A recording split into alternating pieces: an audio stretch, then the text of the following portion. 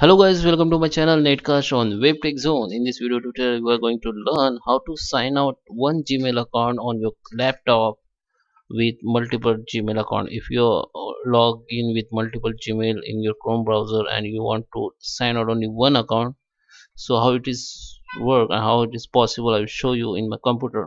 So uh, you can follow the same step I'm, I'm showing in my desktop but you can follow the same step on your laptop. So okay let's start with the video so before we start i'm requesting you if you like this video hit the like button subscribe my channel and comments below. So let's go on my gmail. So guys we are on my gmail account and if i uh, click on my account you know this dp or display you can see i have logged with the multiple account. I have three account here.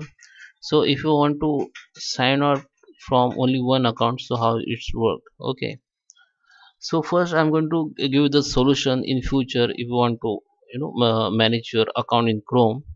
So here you have to click in this three dot and sorry click on this uh, you know your dp and if you see there is a profile setting.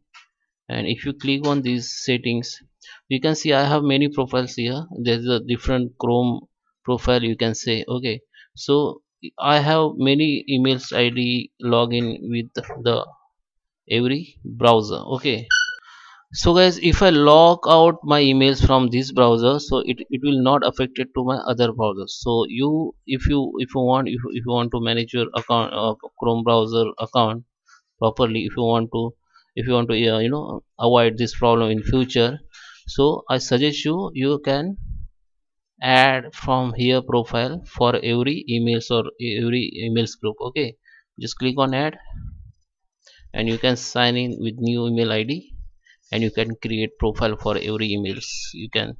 Maybe uh, that so guys this uh, option you can use but still you are uh, facing problem like you, want, you have multiple account you want to sign out only one account. So you can use this option but it will be uh, sign out all account from your chrome browser and you after that you have to sign in. But still you have some other option uh, one other option that you can log in uh, with account with other device. If you i have three account okay and i want to log out this account so i will log in this account in other device like mobile or other laptop or desktop. Now after login i will go in my manage google account okay and go i will see the security here. Click on security and go to the your your device and click on manage device. And you can follow the same step on your mobile also okay? If you have already logged in with the same email id with your mobile you can go to the mobile and you can do this process. And after that you will find your you know laptop device here because you have already signed in. Now you will see the three dot here options. Just click on it and you can delete device from your account so automatically when you come back in a browser your one email id will be sign out automatically and other device will be still there. So i hope you like this video. Thank you for watching